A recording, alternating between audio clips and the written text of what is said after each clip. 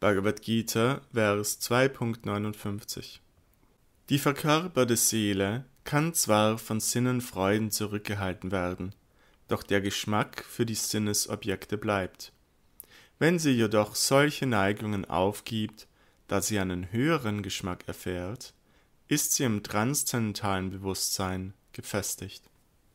Erklärung Solange man nicht in der Transzendendenz verankert ist, ist es nicht möglich, vom Sinnesgenuss abzulassen. Der Vorgang, durch den man durch Regeln und Regulierungen den Genuss der Sinne einschränken kann, wird mit einem Heilverfahren verglichen, bei dem einem Kranken bestimmte Speisen verboten werden.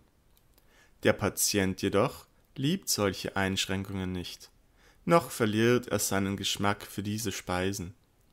In ähnlicher Weise wird für die weniger intelligenten Menschen, die über kein besseres Wissen verfügen, Sinneseinschränkung durch einen spirituellen Vorgang wie Astanga Yoga empfohlen. Astanga Yoga beinhaltet Yama, Niyama, Asana, Pranayama, Pratyahara, Dharana, Dhyana und Samadhi. Wer aber durch seinen Fortschritt im Krishna-Bewusstsein die Schönheit des höchsten Herrn Sri Krishna erfahren hat, verliert den Geschmack an toten materiellen Dingen. Daher sind diese Einschränkungen für die weniger intelligenten Neulinge im spirituellen Leben gedacht. Doch sind solche Vorschriften nur dann vorteilhaft, wenn man ein wirkliches Interesse am Krishna-Bewusstsein hat.